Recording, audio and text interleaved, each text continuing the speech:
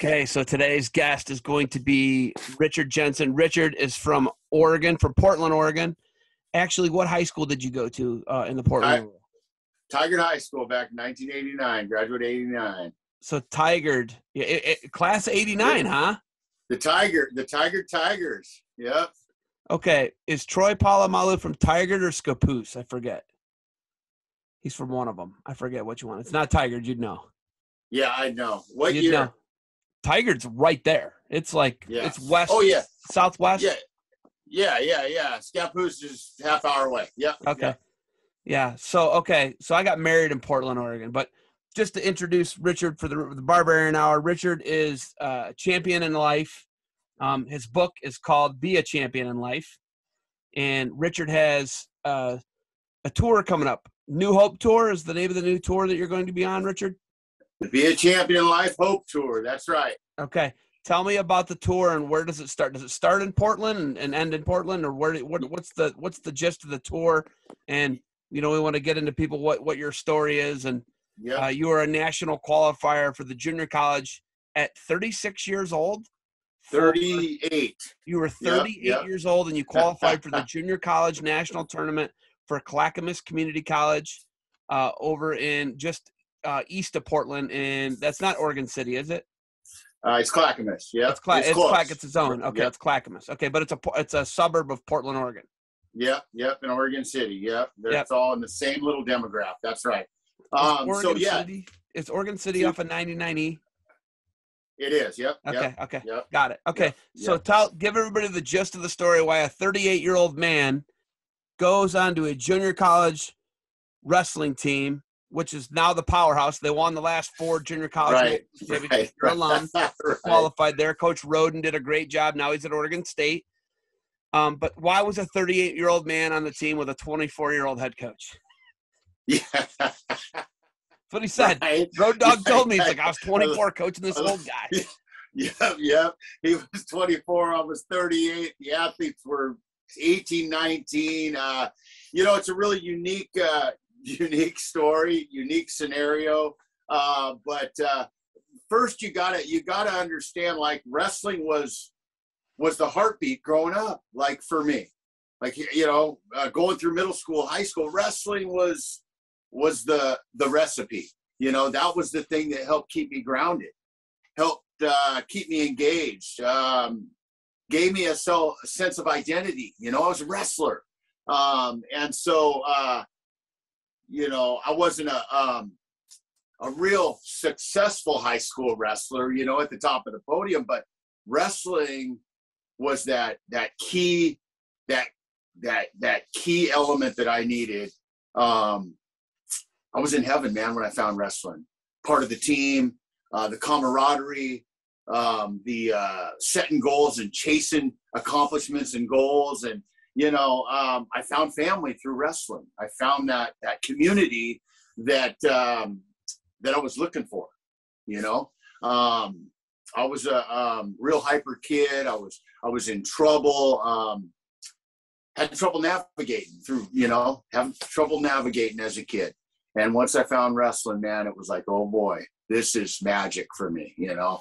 And um, you know, uh, and truth is, wrestling ended up saving my life later on down the road because I was exposed to the sport because I had that sport in my life, you know, when I was young. So, uh, 38 years old, yeah.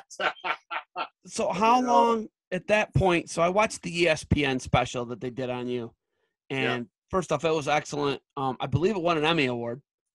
Did. That, that that's incredible. I mean, and that's your life. The content of your life won an Emmy award. I think that's an, an amazing accomplishment. But you know, I'm watching it, and you know, your nickname was Red. The nickname was Red, right? Like everyone who's kept calling you Yeah. Red. Every, every Yeah. I was maybe your sister was calling you Red, um, but you know, because you wrestled hard. Like you said, you weren't great, but you wrestled hard, right? And yeah, the one the one thing I had was a lot of heart, man. I would drive the team. I was the inspiration that drove the team's intensity and positivity. And I may not have won a lot of matches with the big W, but I fought hard through all the ma- matches, and it drove the it inspired and drove the team, you know. So it was that heart, it was that element that I had, that little extra piece, you know, that really helped bring the team together and, and explode when I was called Red. So if you know me over the 30 years, you call me Red. So I grew up. That was the only name I knew going through middle school, high school. That was the the nickname, and it carried on. I had this big mop of red curly hair, just this big mop of hair, man. And they called me Red forever. And still, there's people today that still call me Red. You know. But your story is a story of it's about addiction, and it's about being near death, coming out of prison, it's a, it's the truest story of redemption I think I've ever seen in the sport of wrestling. If there, you know, if there's one that I'm going to put in the top three, your story is a, a story of redemption that you could have succumbed to drug and alcohol abuse. You did not. You went and you found a junior college team, and you you, you qualified for the national tournament. That was pretty sweet. 28 years old, and it the story is just it's truly inspiring, and, and that's what you do for a living now. You inspire people who've been in the depths of of, of addiction, right? That that is what your story is about, or or kids whose parents are in the depths of addiction. That's what the hope is about, right?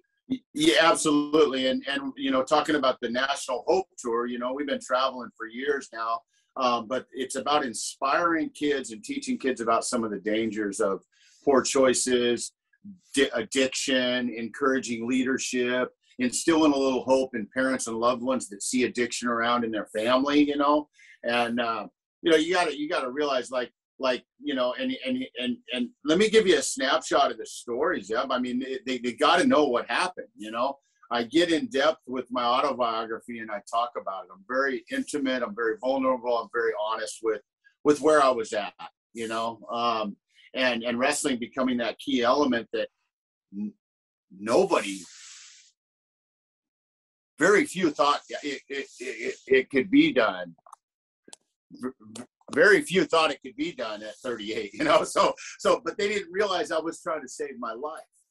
It was much bigger than wrestling.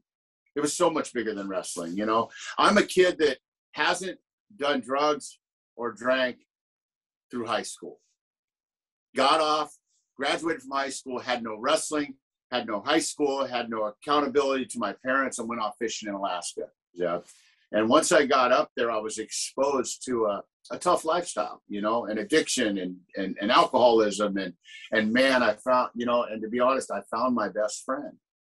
That's what happened over time. I found my best friend. I was able, you know, I lived in that world for almost 20 years. Um, and it was destroying my life, mind you. But, um, you know, that false sense of confidence, that false sense of, of, of identity and, and that, that false community, um, um, you know, I was addicted to drugs as soon as I tried it. Was know? was drugs your best friend? Is that what you're alluding to? Was yeah, yeah. Drugs I mean, was your best I, friend. Yeah, once I used drugs, I was addicted immediately, and it became the driving force. Like I couldn't do anything without using drugs, or I thought I couldn't do anything without using drugs.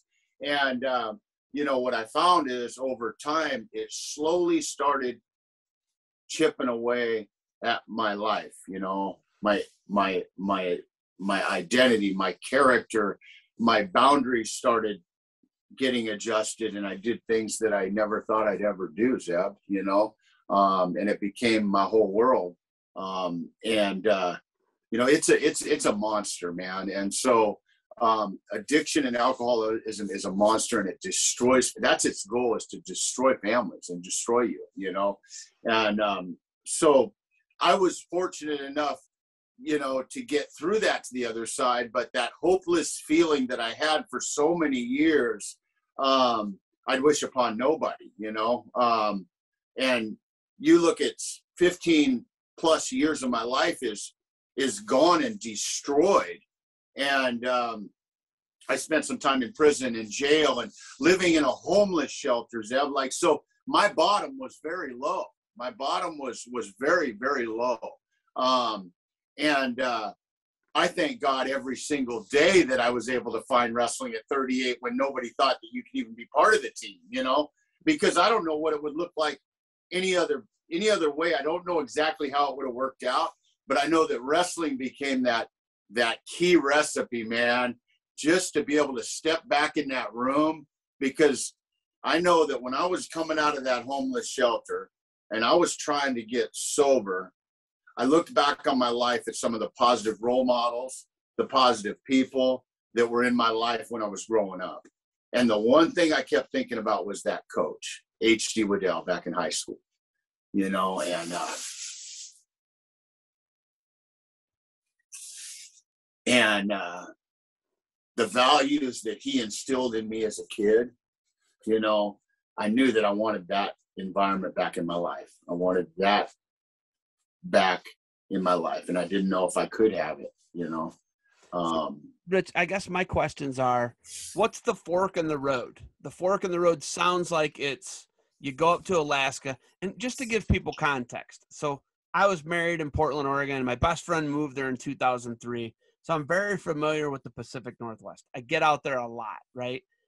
And it's a different place. The Pacific Northwest is a different place. I've actually traveled up to Alaska, to Anchorage, to Fairbanks, to Denali. I've done all that. So I know these areas you're talking about. It's really hard for people who are Midwesterners because you know it's it's real plain terrain around here. You guys got big mountains, you got the ocean, you got the Columbia River Gorge, you got the Deschutes River, the Illinois River, the North Umpqua. You've got all these different beautiful rivers. You got all these just unbelievable mountains in Washington and Oregon. You got the Sisters. I mean, it's just every. You got the Coastal Range. You got the you got the uh, Cascades. It's it's it's a wild place where you're at, and I don't think people get that. So it's a different place, and the society that like just how people are is very different out there. Yeah, you actually drug addict. I'm not saying everybody's a hippie, but yeah, it is yeah. not like the same. You are not getting the same people in the Pacific Northwest that you are getting in the Midwest. It's just it's it's a different place, and I don't think a lot of people get that.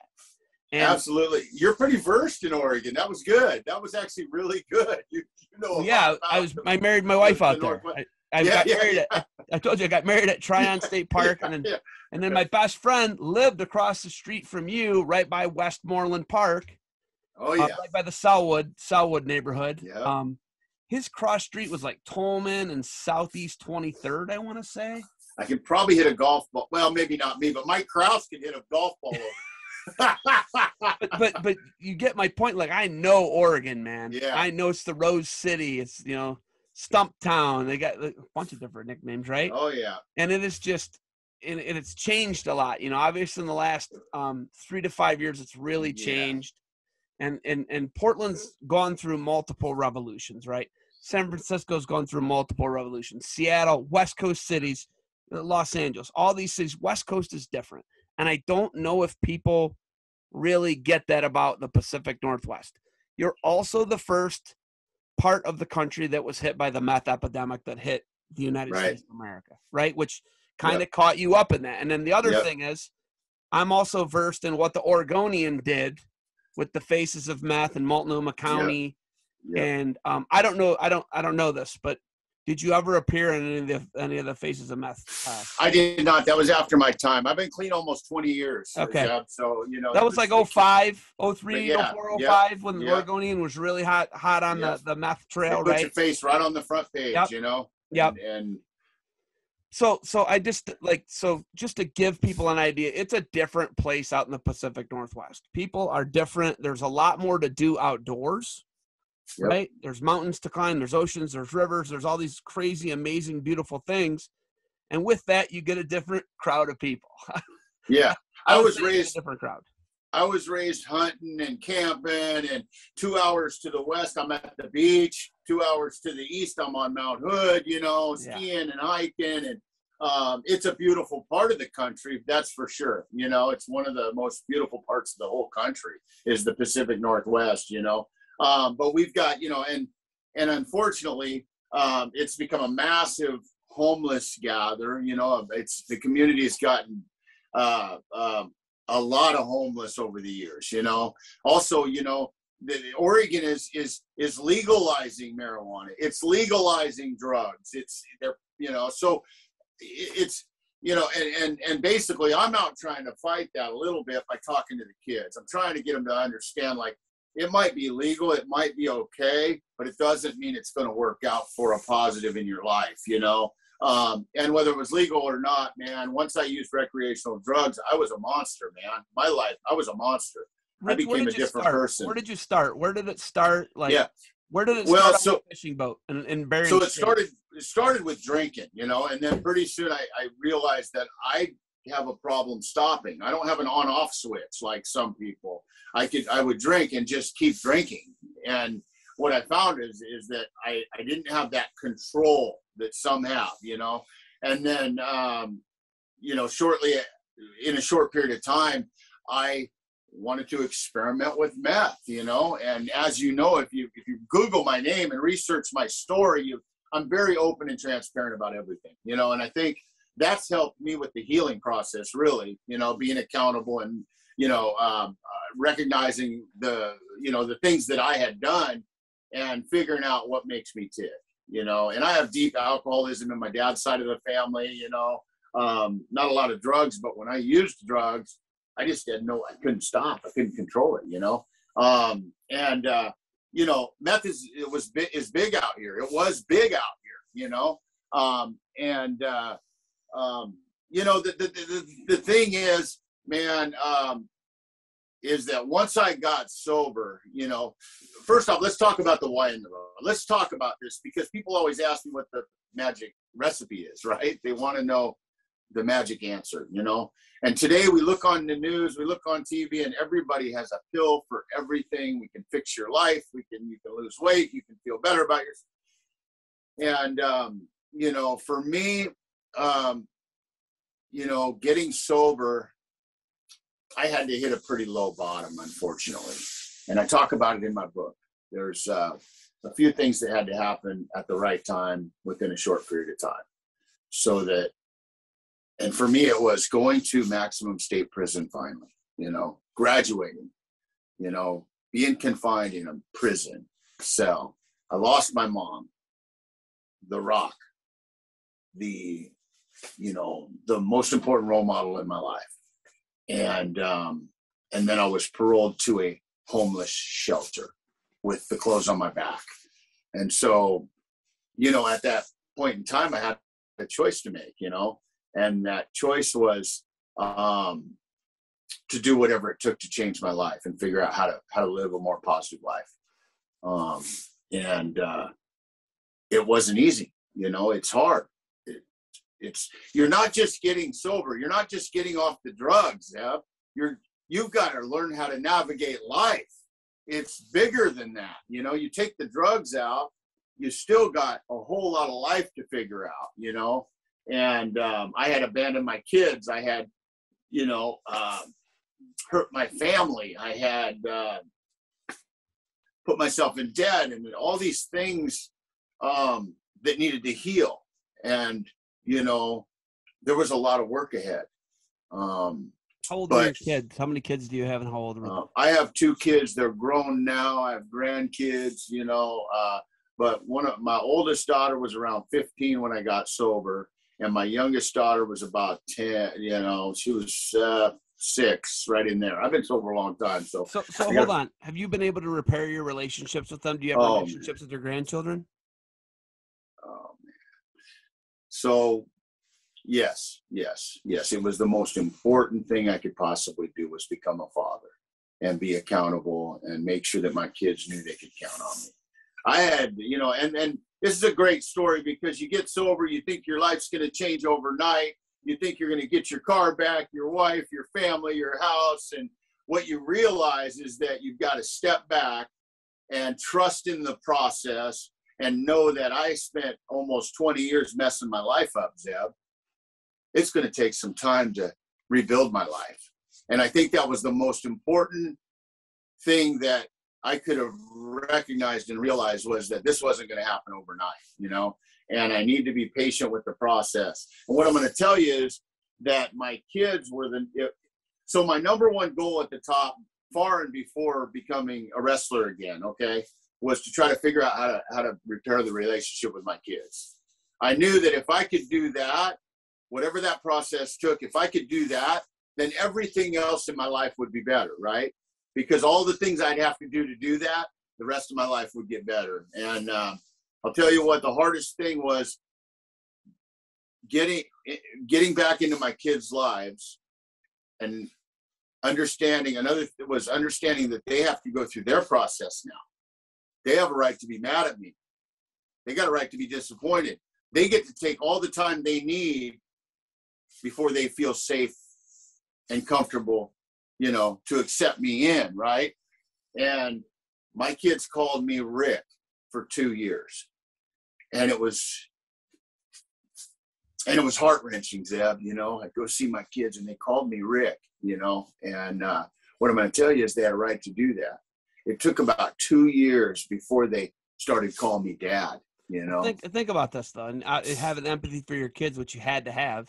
You were a monster, essentially, to them. You were a monster to them because yep. what the, the drugs made you a monster. I mean, I looked. I've looked at a lot of different research on what uh, what meth does to the brain, and the, the, the dopamine spike that meth provides is found nowhere else in nature. I can't jump off a skyscraper.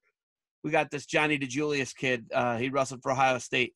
Yep. And he's a he's an adrenaline junkie, right? And he's yep. and he, he's jumped off. There's a windmill at the school where he was doing a clinic yesterday, where my kids go. There's a my kid's like, Dad, that that windmill's not high enough for him to jump off of the parachute. My wife's like, How did he jump? He jumped off the windmill, like a 200 foot windmill over here.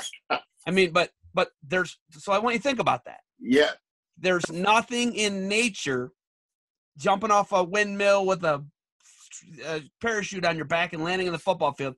There's nothing in nature that provides the dopamine spike or the adrenaline spike that something like meth does. Not not it's, naturally occurring. So right. taking they're taking a hit of meth and they can stay up for five and six days, right? Right. Yep. And then you see them, and then that faces and meth. The big thing with that was how people aged. In three to five years, they'd age, look, looking in their internal organs because you need we need sleep, and it deprives you of that. It would age you 20 years in in three years, right?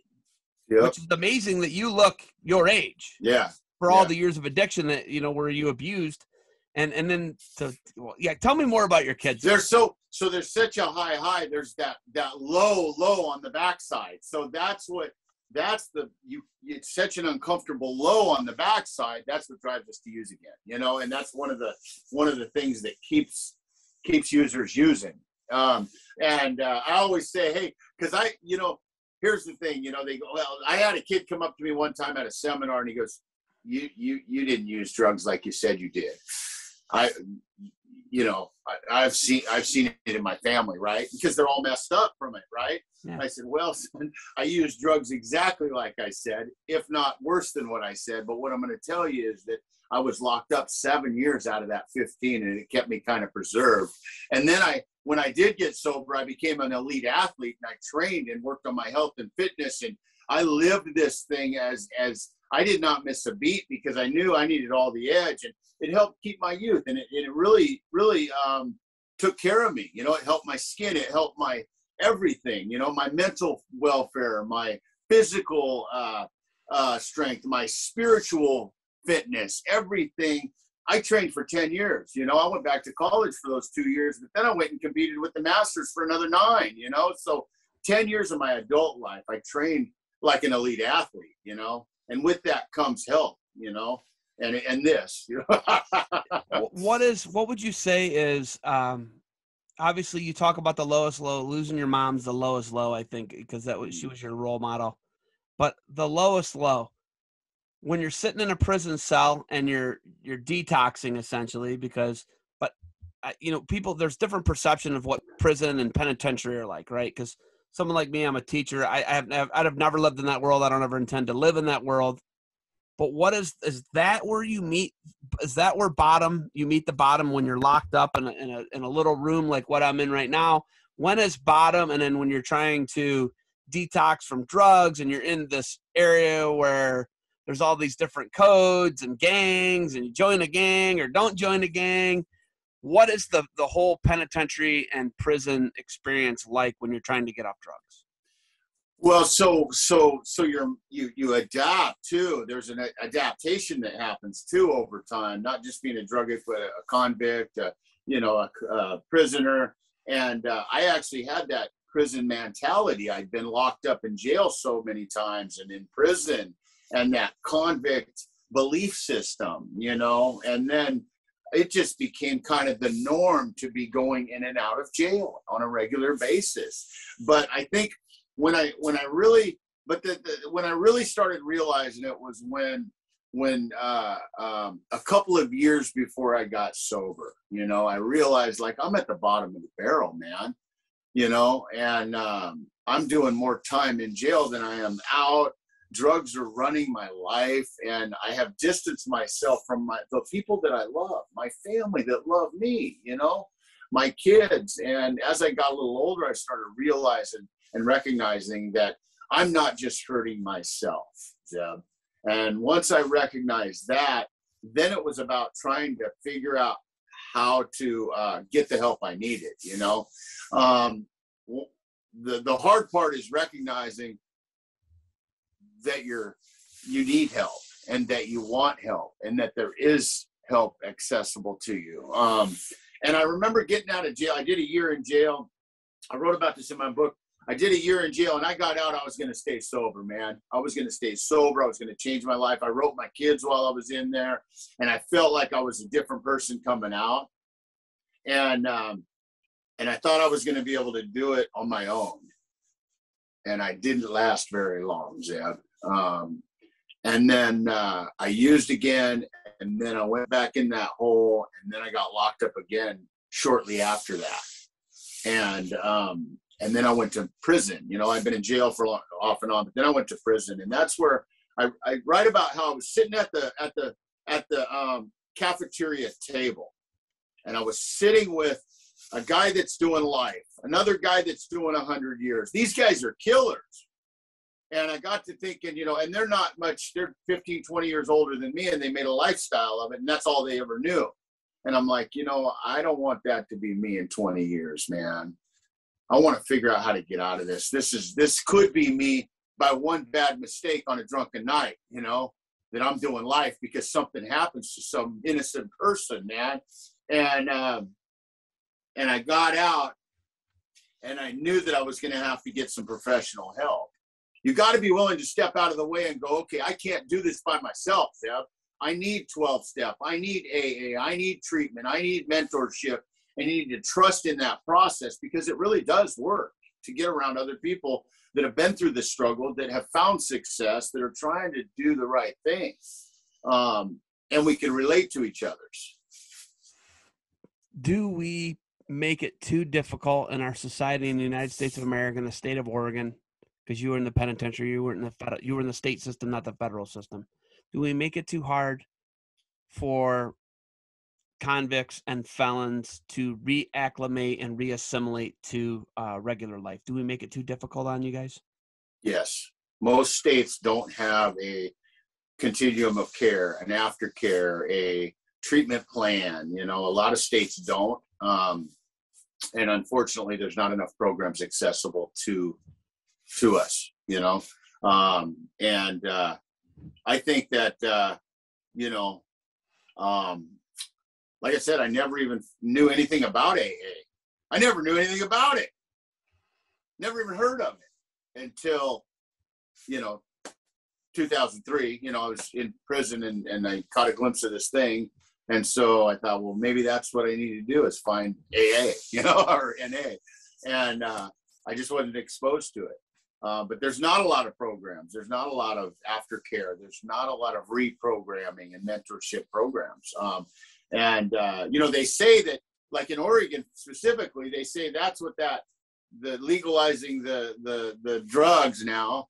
Um, less people in prison. The funds will go towards programs, and now they're looking at the stats two years later, and there, there's no money going into these programs. So you know, who knows what's what's real and what's not.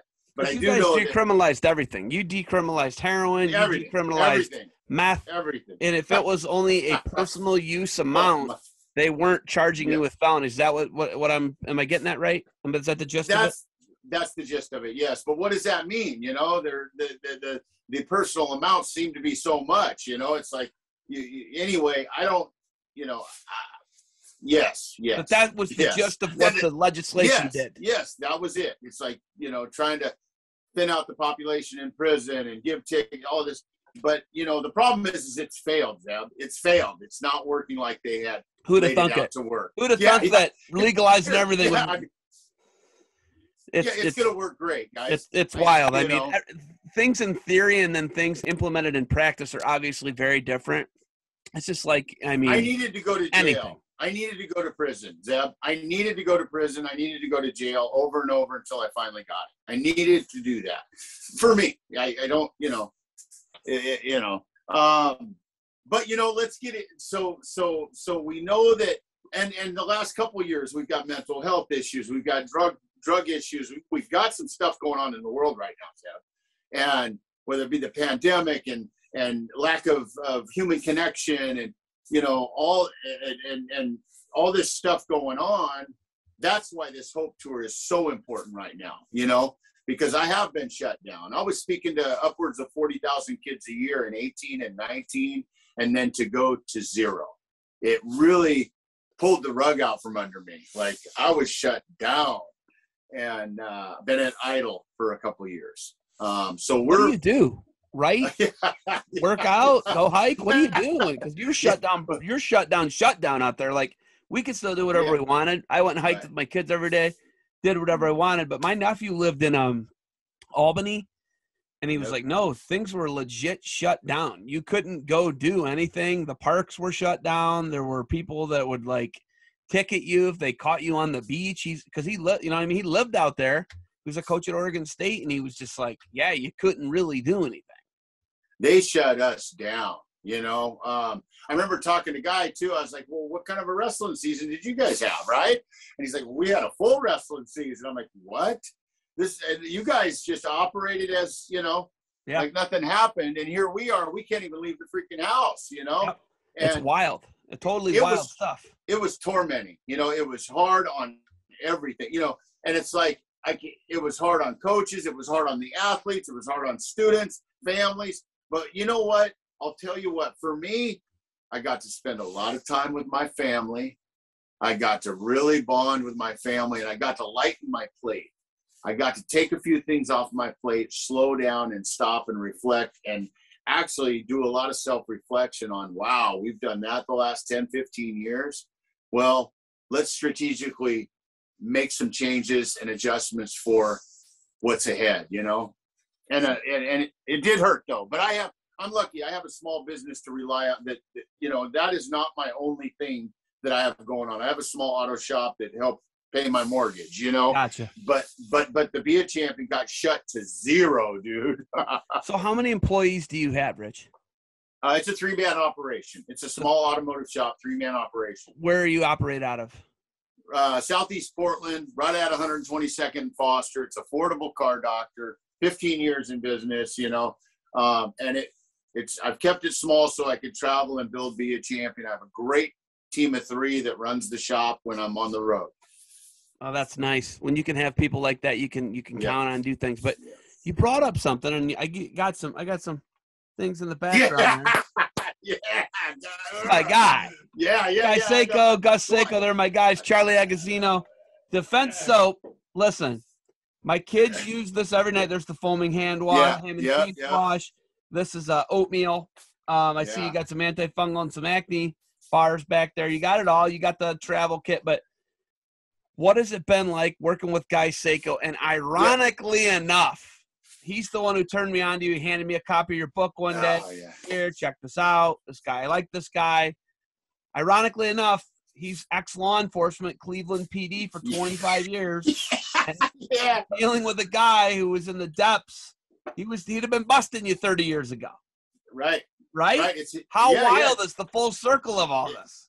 Hey, hey, it's it's us and them for, for 20 years, you know. I cops and robbers, like and then to come back around, you know, and and and it's it, it you know, it's really healing, you know, and it's good to know that you know that we can change and that we can heal and that we can work together. Like we're both you know we're trying to work towards the same common goal at the end of the day. Today you know? But uh that's one of the you know that's one of the beauties of, of of finding yourself and changing your life and doing something positive and impacting people is that you know guys like us can can have a relationship. We can get along and we can help other people together, you know. Um, but when I came around, like you got, and this is unique too. I'm an ex-convict. I'm a I'm a felon. Like, why why would a national? Why would they even want to be part of me? You know, why would Adidas Wrestling want to be part of this thing? Well, it's because of what we've done the last 20 years. You know, um, and we're out changing people's lives for the positive. And I'm not a facade. I'm not a. This is not. You know, this is not. This is real. You know, I'm out here really living a life of recovery and really teaching people about you know the dangers of this stuff. Um, Guy Seiko's been awesome, man. I could not be more happy to have him partner with him and and and inspire me to want to do more. And uh, that guy is golden, dude. Um, but I love the cops today. You got to remember, like, I love the cops. You know, they're out there risking their lives to chase the worst of the worst, man.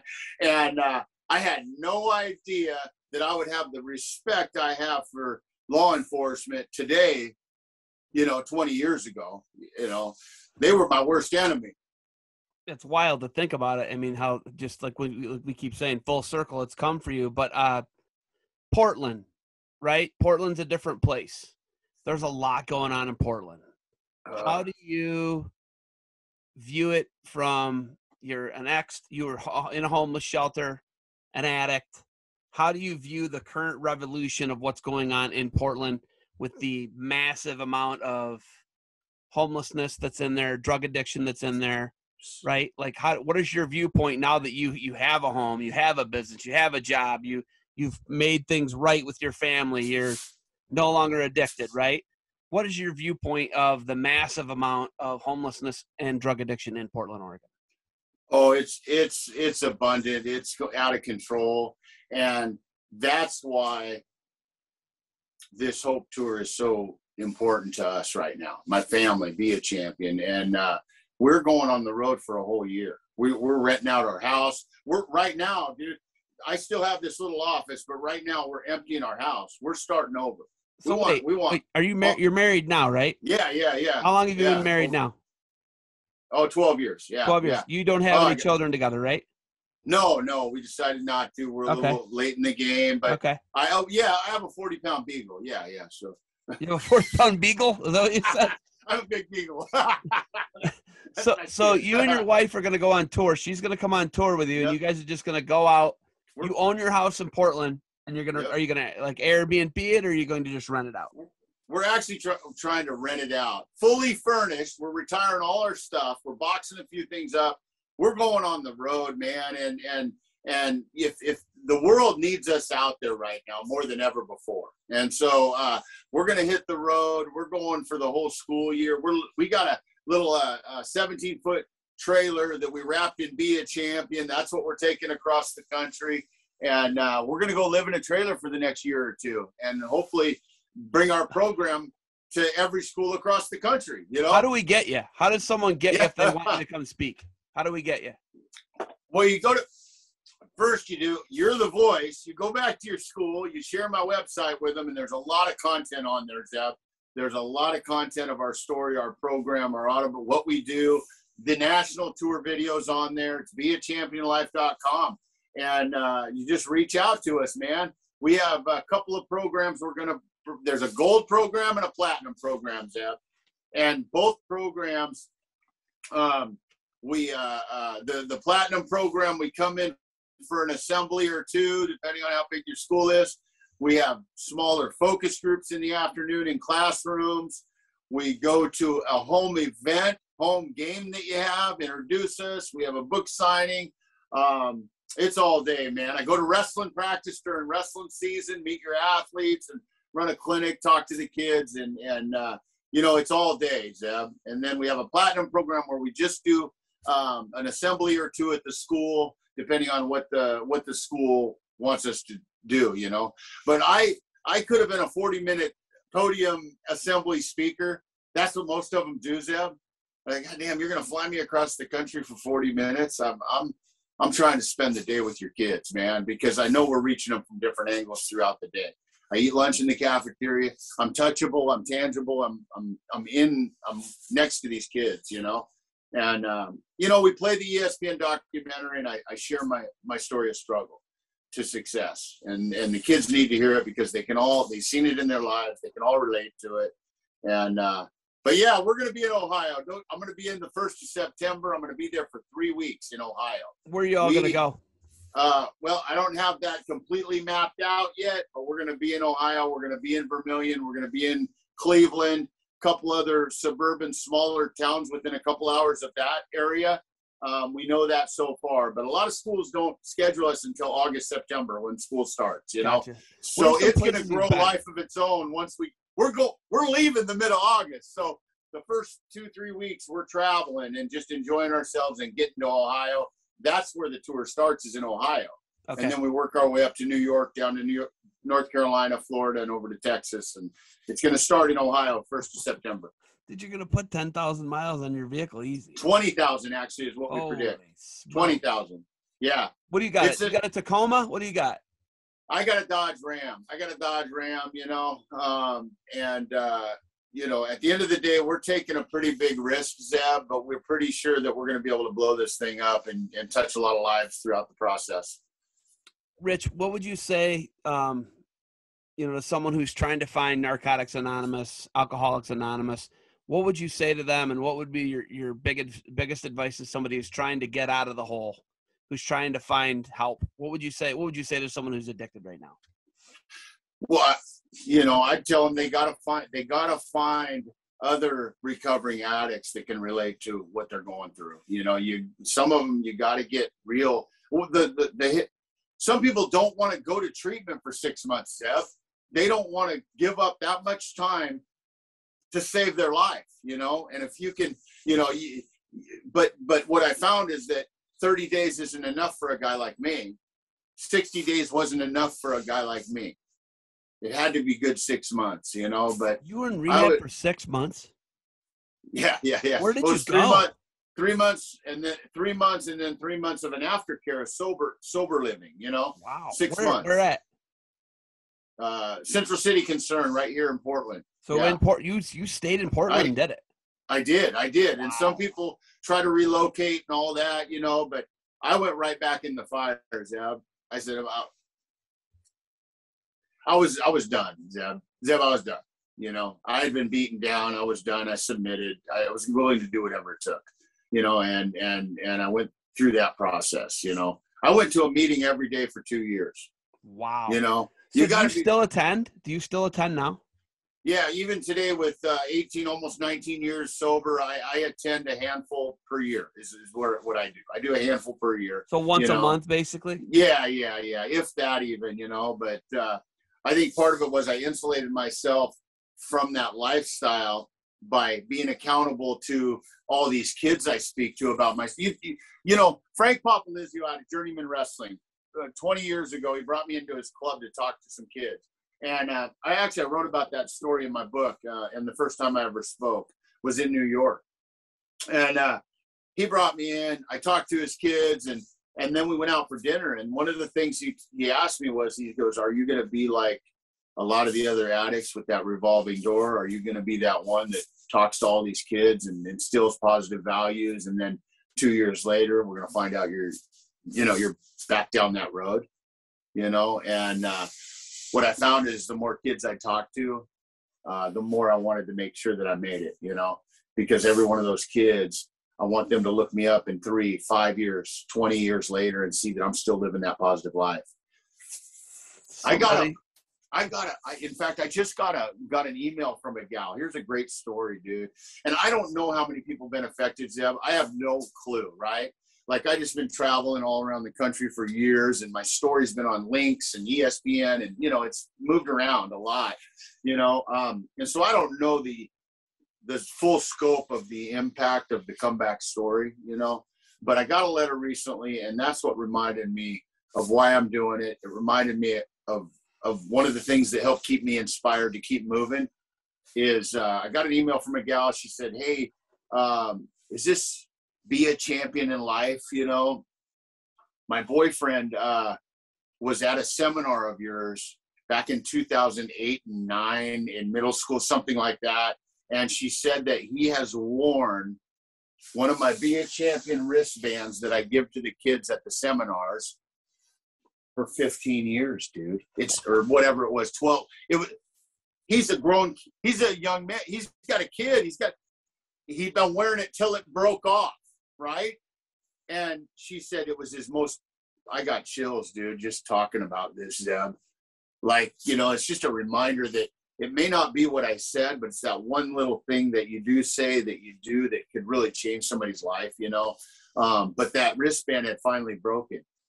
And she was asking if I could get her another wristband for her boyfriend because it was his prized possession. He never took it off, you know. And, uh, you know, I'm in tears. I got chills. I'm, oh, wristband, you know, the the magnitude of that wristband, right? And and what it did so of course I emailed back, what's your address? And and I put a big old gift box together, you know, they you know, bunch of wristbands and books and, and sweatshirts and stuff. And I can't imagine just that girl reaching out to me and what it did for her boyfriend, you know, moving forward, you know. So I had someone say to me who was an alcoholic, I was like, well, Do you drink anymore? Can, can you drink anymore? And their reply to me was, "Once you're a pickle, you'll never be a cucumber again." Is that true? yeah. Is that true? yeah, yeah. Hey, a lot of people say, "Hey, well, you've been you've been sober a long time." You you mean you don't? Can you sit down and have a drink now? Right? You want to go out for a drink? You know, it's like, can you? Can't you? The question, you know, I have no idea. I just know for sure that if I did, the liability is massive. You know, yeah. so so, I mean, that's all. It's just like maybe I could, but the liability, if I can't, Zeb, I'm not going to find out. I, I'm not going to find out. My life's way too good to jeopardize it. Do you think um, the city of Portland has confused compassion with what they think is the right thing? Do you think that they think they're being compassionate, but they're actually giving people a blank check and they're destroying other people's lives? Do you think that that's a little bit of the problem in Portland, Oregon? They're creating a much bigger struggle. Yes, much bigger. Struggle. They think they're being compassionate. yeah, yeah. They're creating yeah, like, a monster. Help these guys. I'm going to help yeah. these monsters, but they're actually creating more monsters, a bigger monster. You know, they're co-signing. They're co-signing. You yeah. know. Yeah. Uh, they're co- they're saying, "Hey, it's okay. Here, here, here's a little more for you." You know, they wanted to give out these little kits. I mean, you, I just it's mind blowing. Wait, the the the, the, the it's, clean injectable it? kits, right? The, the, kit, the kit, right? Yeah, that's got a pipe. I, it's got a. I called my wife and I go, they got a kit. Are you kidding me? They, oh, they mailed some of those out, I believe. Yeah, I believe some of those yeah, got mailed out. They don't want the glass to hurt. Are you? I'm I'm I'm here I am. I'm battling. I'm I'm I'm at the other end of the spectrum, and this is happening. This is really happening. Like I'm I'm over here trying to. I, I don't get it, dude. But Rich, it's, I want you to think about it. Let's have some empathy here. Let's have some. Yeah, yeah, yeah. Right. You're that monster, and they give you. Right. You know, and, and, and I don't know if you, I don't know what the extent of your drug abuse was, but you know, when people start getting to, the, they start injecting that's the whole next level, right? Because then you've got a whole nother different bloodborne bloodborne pathogen diseases. You've got all these different things that are that come along with injecting because nobody's they're not. Well, let's make sure that that needle's clean. No, you're an addiction. You're so high, you don't know what way's up, left, right, down. You don't know. You'll use whatever someone gives you to stick in your veins. So, so I don't know. I don't know. I'm asking you. I'm asking you. Get, what do you think? Let's let's give them a kit, Zeb. Let's not give them a pathway to sobriety. Let's give them a kit, and and we can we can actually. I'm, I'm not going to dissect this too much because right now there's treatment has changed in 20 years since I was in treatment. Okay, we actually literally did get sober and stayed sober. That's what we did. That was treatment. That was recovery. And now they have Suboxone and you know the, these these pills and things that are part of the treatment system now you know? So it was a different mindset 20 years ago and now treatment has changed a little bit too even today you know? Yeah um, so i was watching but, a, brett Favre interview the other day and yeah. he talked about he was taking 15 uh percocets vicodins whatever it was pain pills a day right? Yeah. Well they prescribed him 30 at a time when he was uh going through it.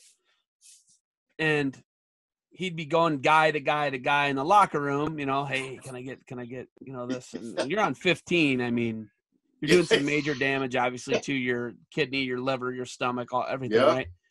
Yeah. He says he's he said by the time he's circling back around the locker room, it was a lot quicker than he remembered it before. But here's the big thing he said that kind of really got me. Everybody else knew he was the last one that knew he had know. a problem. Yeah. Is that Yeah. right? Is that Yeah. did, were you the last one to know?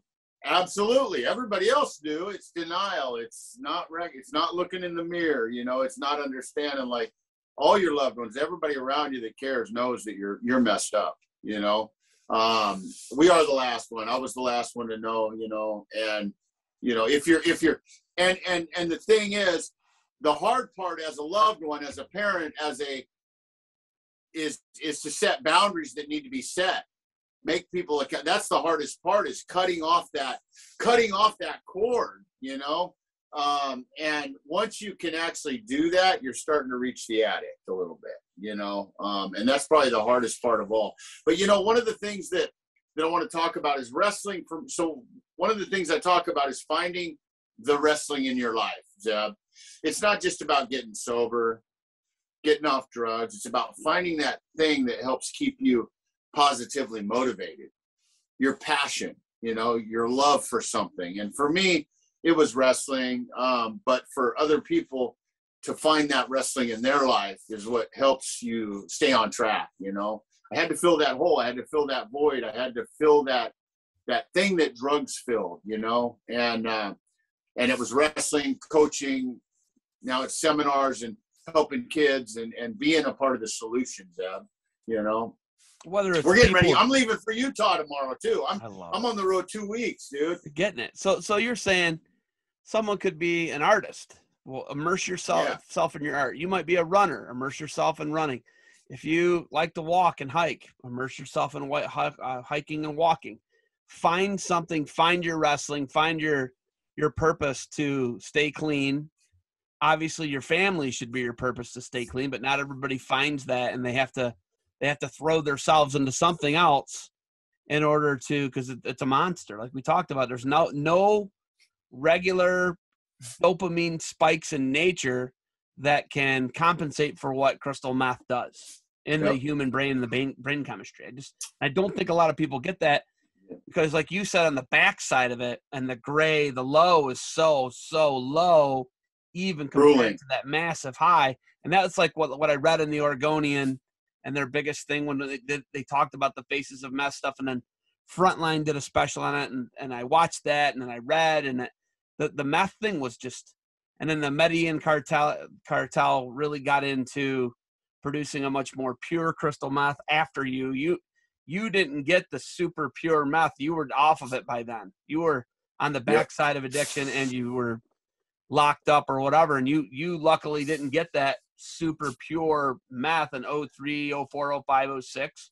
You know, Yeah. you were on the road to recovery, Yeah. and I mean, that's a monster, and I don't think a lot of people understand what it does to the body too. Your Yeah, and you got to Yep, it, it destroys stuff, and and I and I've I've got some some some things I kind of deal with. You know, I have some little glitches and things, but for the most part, I've been pretty damn healthy. I was really lucky. You know, That's amazing. Um, I, I really was. And then I think that, like I said, I test, I put a lot of weight in that 10 years of competition because the lifestyle that I was living um, really helped in a lot of ways. Um, but you have to take that obsession to use and shift it over here. And it's okay to obsess about wrestling. It's okay to obsess about coaching. It's okay to obsess about your family. Something else has to, you know, and I found a pretty good high in competition. Like it's pretty intense to be a wrestler, you know. So I was able to to find a pretty good driving force through the sport, you know, and uh, uh, and I think it really helped fill that hole inside of me, you know, being that athlete again, you know, and and even to even today. okay, so the other thing, um, you're able to do all this because you own a business. You own a small business, right? Like, what? First off, what degree? Do you get an associate's degree from Clackamas? I did. I went in the automotive I industry. was just gonna say, was it automotive, and is, does it deal directly with So- your business? I don't know that. I'm asking. Yeah, right, right. Uh, yes, it does. So I had to take a look at my life. I was 34 years old getting sober. I'm 37, 38, going back to college. I got two kids that are, uh, so I've, got to figure out. I, I'm I'm not young anymore. I'm not young anymore. So I had to stop and figure out what was the one thing that I could I could study that I was passionate about that I loved. Well, I loved wrestling and I loved cars. I had been working on cars since I was a little kid. So I said, you know what? I'm going to couple them together and I'm going to make a run at these two. These were the two main things. And so I got an education, got a degree, got automotive certificates. I did really well, and uh, I had a lot of background in automotive. So, uh, so you know, I started a little shop, little little couple car shop, you know, and it's grown into you know, yeah, what it is today. You know, I slowly, just slowly started running a business. Listen, the guys that I meet and know from Oregon and Washington, you know, Pacific Northwest, Idaho, uh, they're different people, all of them. From Kevin Roberts He's from yeah. Spokane. Yep. He's a maniac. Um, yep. Linlin. Linlin's yep. from from Oregon. Um, I'll see him. Joe tomorrow. Russell. Joe Russell's from uh, Gresham, I think. I believe it's Joe, Joe's from Gresham, isn't he? Joe, Joe and Dan are both from Gresham. Yep. And then um, yep. who's the other one who's a complete maniac? And I'm like, these people are just nuts. They're nuts. And it's just, it's just such a different place, man. I love it. Oh, Chael Chael yeah. Sonnen is from uh, Chael Sonnen, yep. West Linn. I mean, just different guys. But you guys all, everybody I talk, every name I just mentioned finds another thing to do in their life on top of like, I'm not just going to be a teacher. Or I'm not just going to be a coach. Or I'm not just going to be a small business owner. I'm yeah, going to do yeah, this. Yeah. I'm going to do that. They all have something else that they do. They've all, everybody I just named has a side hustle yep. of some type. They got has a, a great side hustle. On. They're yep. always something, yep. something else going on in their lives. And I once again, I don't know if I'm uh, stereotyping that area and the yeah, type of yeah, people yeah. you guys are, but you're just real different people out in the Pacific Northwest, and I love it. That's why I love it. That's why I'm coming back out. Love the place. Just, We're gonna pass uh, though. We're gonna pass. I you're like, gonna be coming to Ohio. I'll yep, be in Portland. Yep, you're gonna be. Um, I like to talk. Uh, so what I like to talk. So I just did this little talk about about. I'm talking about successful people, you know, and we're trying to figure out: is it their looks? Is it their IQ? Is it their education? Is their their ability. What is it that successful people have in common? And we're not talking about success meaning a dollar amount. It means success, right? And I look at like I'm a successful person, you know, um, and you look at from where I was to where I'm at now, and there's different variables, but what it is is it's grit. It's grit, Zeb. Having grit that's the key element. Having grit willing to bear down willing to keep fighting willing to keep moving. Raise the bar reach your goal raise it up again and just keep going no matter how hard it gets and being resilient. It's grit dude. That's what all the successful people seem to have in common is grit dude. That's the word for today. Listen the mlk quote if you can't fly run you can't run, walk. You can't walk, crawl. But crawl. by all means, keep moving. And that's what like a lot of those guys, they're gritty, yep. they're tough, they're just they're yeah. resilient. And I think that like you're saying, like last night, um, I took my kid to wrestling camp with Johnni DiJulius up at Kenston High School. And um, Johnni plays this game called Johnny Ball. And it's like you can only you're fighting over a ball and you gotta drag the ball back to your wall and touch the wall right? And it's a fight. It's a fight. Yeah, oh, yeah, a fight. Yeah. So my kid and um, this other kid, Walker, Walker's a tough little kid. They get in this fight, and then Johnni calls the other two. There's two more groups, my other little kids in the other group, and they jump on there and they're beating each other up. They're fighting for this ball. They're fighting for this ball. They're fighting for this ball. Walker gets so exhausted. He fights my son so hard, and they fight for this ball, and they just fight and they fight and they fight. Eventually, my kid gets the ball to the wall, but like I think that Walker could probably beat my kid up in wrestling, which he should. but like, I think that that's a, that's where you get it. It's just this grit. I'll send you the video. Just, yeah, just, yeah. They fought. We just put them yeah. in there and they fought. They weren't punching. They weren't elbowing. They weren't right, kicking. Right. It was just fighting and gripping yeah. and ripping and just doing what you can to get to the wall. And yeah, I like that. And I think that's what the sport of wrestling really teaches you. I think to to your point of well, how it saved you and brought you back into the fold and gave you something positive to be fixated on besides drugs and alcohol. I think that that's ultimately the message you're trying to get across. It really, it really is, and, and a lot of you know, and a, a lot of people don't real like like the truth is, is to go from there to get here. There was a lot of obstacles, man. There was a lot of things pushing back at me, you know, and it would have been easy to fold, easy to quit, easy to throw in the towel over and over and over in all these different scenarios in life because of my past. And, um, and I was I've been able to just keep moving. And that's really what you're what you're saying is what I did. If I can't push this wall I'm going to go around that wall. If I can't run I'm going to walk. And that really has a lot to do with it. Okay there's a few other ways I can go about this you know cuz I got my my seven felonies multi-state all expunged now you know um really I had uh, you, you yeah yeah so so right now if somebody Yeah. does a background check it doesn't It's- show any felonies on you it's going to come back clear you know and- no way I don't quite have my gun rights back yet, but I got I'm clear. And and and I thought that would never happen. I you know, think you and can get them back in and- Ohio. A judge can reinstate your Second Amendment Yeah. rights here in Ohio. I know that.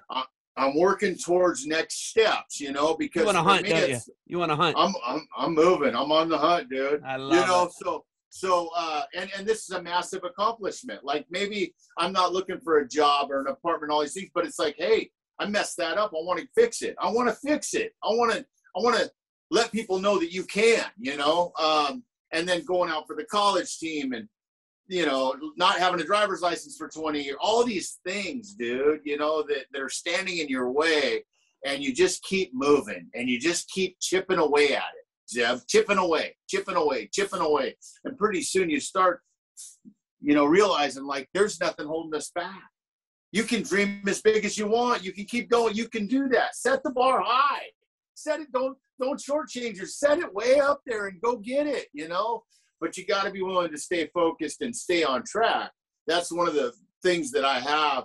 I'm, I'm not easily distracted from the primary goal you know? I, I stay i'm pretty pretty focused on some things and uh, uh, i'm able to to just keep moving towards them. And i think that's a, a huge attribute to being able to to get where we're at. And then grit. Grit.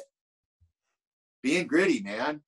Um and uh and resilient and shake it off and keep going you know Okay, so you're the subject of an Emmy award-winning short film, right? Documentary. yeah How much? For, did you get an award, by the way? Did you Yes. get one? Did they? So, do you yeah. have an Emmy? Do you have an Emmy? so this i always forget that some of these are just audio right so Yeah. i got the emmy sitting right behind my head here You have an You know, Emmy? it's but the- but it's all it's sitting right here behind my head and there's a stop sign sitting there and i got the ring on you know i'm all set up here You really have an Emmy? Can you show me Yeah. an Emmy? Produce it. yeah yeah yeah yeah Okay, I want to. It's Yeah. like I, I listen. yeah You yeah, sh- I want to take Yeah. a screenshot of it before we get off here because that fire. yeah You have an Emmy award.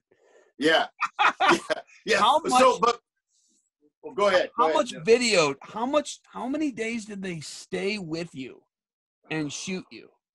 Okay, so that's okay. So the day before the national tournament, I'm in front of the camera six or seven hours Oh. dredging up my story, dude, before the national tournament. And I, if I would have realized how exhausting that was going to be and how important the next day, I might have, I might have tried to navigate it differently, you know. But not that that's, you know, it's just, um, it, it was a grind, dude. And then they spent the, a few days with me in Clackamas, and it was a few days, dude. We spent. It was few probably a week of shooting. Yeah, yeah, putting the put shooting, and then they and then they came out with this great life changing video it's really good. out there, dude. I really still good. use it. To, I use it in my seminars still. I use really it. good. You know, um, that sets a good tone, tells a good part of the story, and then I take over. You know, um, but we got to remember now. Here, here's my chime. I was just talking to a, a an athlete yesterday. I'm leaving for Utah tomorrow. We're packing the trailer right now as we speak. I got Robert Plimpton, man. I'm surprised no D1 co- coaches grabbed him yet, but we're still working on it. But he is has won just about everything, and he's a good kid. We're going on the road tomorrow um, for five days of competition in Utah. So pretty pretty pumped about that. Um, oh, but I was talking to him about we got the stop sign finally. We got the Emmy. You know, all, all these these cool, awesome accomplishments. They're all shiny and everything, but you know what it really came down to is I was chasing a national title for 10 years. And what I found is that the the real gold medal was becoming that father I wanted to become. becoming that husband I wanted to become, becoming that man of integrity in the process. And that really, I didn't realize it till later. We chant about it and talk about it. Well, I lived it in my life. Now I can step back and go, that's what was really important, you know. But it's still cool. I got listen. I got to cool. see it. I don't know any any other Emmy award winners, so well, hey, fired up. I'll have it on the. Hey, hang on, I'll have it in Cleveland in, in a couple months. You can take a picture with it yourself. believe. wow. Well, you're the subject of it. I mean, they don't have. They don't win the Emmy yeah. without you. Right. So so uh so no, I didn't go to the showing and get it presented to me on a stage and but the story impacted so many people that the producers wanted to send me a gift, right? And and I'm still friends with him today. I'm gonna see him in Florida when I go to Florida on this trip. Martin Khodabakhshian. He called me up one day, he goes, Hey, I got a gift coming your way. Be ready, it'll be there in a couple days, right? So the UPS driver comes to my shop and he says, he sets this thing on my. I don't know what it is. I know that they're sending me something. I, yeah, it's a sweatshirt, a t-shirt. You know, yeah, yeah, yeah. who knows? You know, I mean, and I was like, oh yeah. And he goes, it's from ESPN, and the USP, the, you know, the UPS driver says, I've been driving for 25 years. He says, I've never seen a package from ESPN. Can I be here when you open it? I was like, yeah. So I cut this thing open and there's a it's it's styrofoam. I pull the lid off and it's like oh, there's this beautiful gold Emmy sitting there, and the guy looks at me like, "What?" And I'm and I'm in tears. You know, it it, it was crazy, dude. And uh, what a what a amazing gift, you know. Yeah. Um, and and and I uh, yeah yeah that's that one. Uh, that's the one that stands out on the trophy shelf. like you said, though, it's not really about the trophy; it's about the experience to get to the trophy, right? It's about the journey. Yeah, I mean, you know, the the it's the it's the life changing experience along. It, it, it's everything leading up to that moment. You're at the top of that podium. It's everything else that's really important in life. That's all that really matters. You know, it affects me it affects my family it affects the people around me in a positive way that i'm doing the right thing every day you know that they can look at me and go that guy's doing the right thing you know he's living a positive life you know and that's what brings guys like guy into my life that's what brings like guys like tom scully from adidas into my life you know it's unheard of to be sponsored by these guys from my background you know it's about who we represent today and together we can impact more people and more kids as a as a good team. You know, I can do more with partnering with the right partners than I can myself. You know, and um, but yeah, yeah. All right, we got the Emmy. We're gonna travel with. Let's see worry, the stop sign and the Emmy. If you can show those to me, go ahead. Right now, are you on the? Yeah, we're we're good. Yeah, show me. I want to see it. Oh, you can't you can't see the. Uh... There it is. put in the seat. Put in the shot. Back up. Oh, back up a little bit. Back up a little bit. Take screenshots of it. One more. Go I'll back. Back. You. Back. Go back so I can see the whole statue. Dude, that's sick. Oh, oh. You tumbled on me. You're okay. Oh. You're okay. I got it. I got it. And then you got your stop sign. See, I couldn't see that in my view. That yeah. wasn't in my view. I couldn't oh. see it. Right, you lo- well, I lost you again. Oh, I see. You can't see it in your, your yeah, screenshot. I couldn't see. Oh, it. Oh, there, right, there hey. it is. There, there it is. Now I got it. Yeah, yeah. There we go. go. We there got it, man. Go. We're knocking everything so, over. So what you got? You got on my. You got the poster there with some of the sponsors that help fuel the bus in the fall. You know, and they back up our brand, and we partner, and and you know we're having we got a clinic coming up here in a in a month too. We got Chance Marsteller coming to Oregon. He can wrestle. Seth Seth Gross coming they to can both wrestle. They can both wrestle. Uh, yeah, they can both wrestle. They can. They're grinders. They're yeah, yeah, they're okay. They're they're okay. So hey, Chance has got a great story. He's got oh, a great story of, of of redemption. Redemption. Why do you think I brought him in? Yeah. Why do you yeah, that's a great him, story. You know? That's a great yes. story. Yeah, but, so I'm looking forward to that. I love it. Okay, Richard. So give me any dates or information that you can, so people can find you, because we're about to be done here. Yeah. We're past oh, our man. hour. Yeah. All right. Yeah. So uh, anyway, so if you go to Be a Champion Life on all social media platforms, beachampionlife.com, you'll find a lot more information about our national tour, our autobiography, our story. If you heard something today that you want to find out more about, just go to our website, you know, and uh, we are leaving Oregon mid August. We're on the road. We're going to go enjoy ourselves and, and tour around the country for two or three weeks, and we're going to land in Ohio. That first week of September, that's when the tour begins, is in Ohio. We have schools in Ohio, North Carolina, New York, Florida, and Texas so far. And, uh, you know, we want to make sure we hit every state if we can, you know. So we're going to be in Ohio. We're going to be all over the East Coast. Um, and, uh, you know, the idea is to see if we can pull some more schools in because today, this message is really important. You know, we got some issues going on, and these kids need to hear about my story. Definitely. Richard Jensen, be a champion in life. The Hope Tour is coming up, starting in Ohio in August 2022. Stick around for a little bit. Check out www.barbarianapparel.com. Richard, thanks for the time. Thank you, Zeb.